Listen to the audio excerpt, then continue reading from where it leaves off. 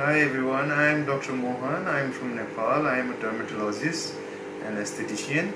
So I I'm here since few uh, since a week and I'm doing this fellowship training in uh, aesthetic medicine and cosmetology. And so far it's uh, going great. Uh, we are doing a lot of hands-on theory class we did earlier also and now also it's mixed with some theory classes. So we have been able to uh, do a lot of hands-on here. The group is also not that big here.